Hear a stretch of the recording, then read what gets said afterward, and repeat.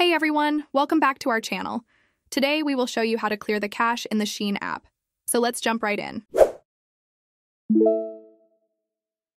Open the Shein app on your smart device and check if you are signed into your account.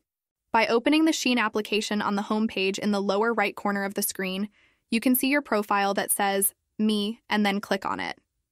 Then, on the next page, in the upper right corner of the screen, look for the Setting option, which has been changed to a gear, and click on it.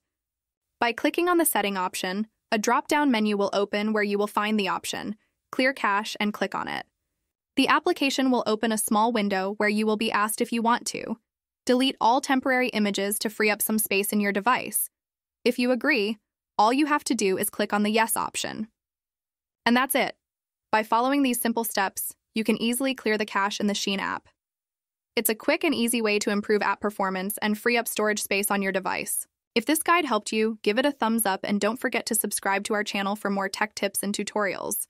Thanks for watching and see you in the next video.